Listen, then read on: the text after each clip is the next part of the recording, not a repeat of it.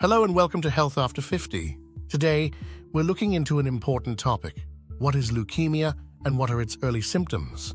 If you're over 50 or have loved ones who are, this is crucial information. So let's get started. Understanding leukemia. Leukemia is a cancer that affects both our blood and bone marrow. Our blood consists of red cells, white cells, and platelets. These cells are produced in the bone marrow, the bone marrow creates aberrant white blood cells in leukemia. These abnormal cells don't function properly. They grow faster than normal cells and can crowd out the healthy ones.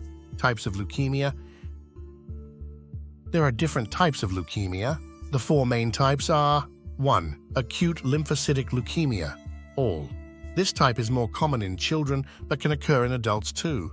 2. Acute myeloid leukemia, AML. This type is more common in adults. 3. Chronic lymphocytic leukemia, CLL.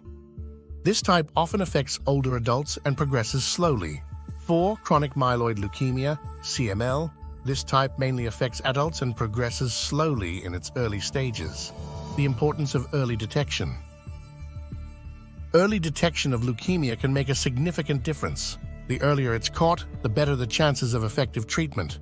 What should you be on the lookout for? Let's discuss the early symptoms. Early symptoms of leukemia 1. Fatigue and weakness.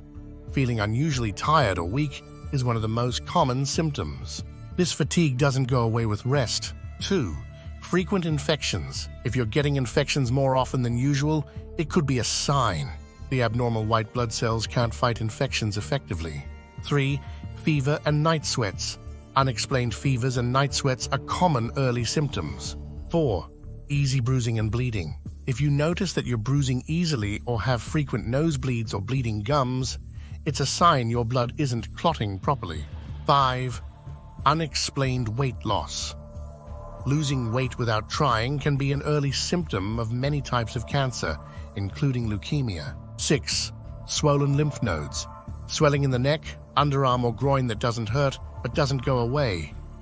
Could be a warning sign. 7 bone or joint pain.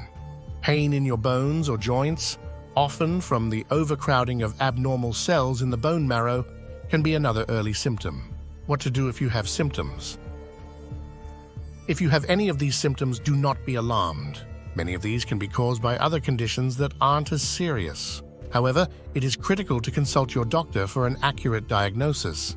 Your doctor will perform tests, including blood tests and possibly a bone marrow biopsy, to determine the cause of your symptoms. Treatment options. If diagnosed with leukemia, treatment options vary depending on the type and stage of the disease. Common treatments include chemotherapy, radiation therapy, targeted therapy, and sometimes a bone marrow transplant. Your healthcare team will guide you through the best options for your specific situation.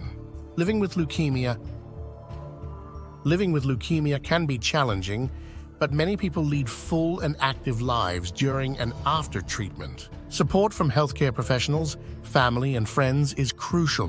There are also many support groups and resources available to help you cope with the emotional and physical aspects of the disease. Remember, early detection is key. Pay attention to your body and don't ignore unusual symptoms. Regular checkups and staying informed can make a big difference.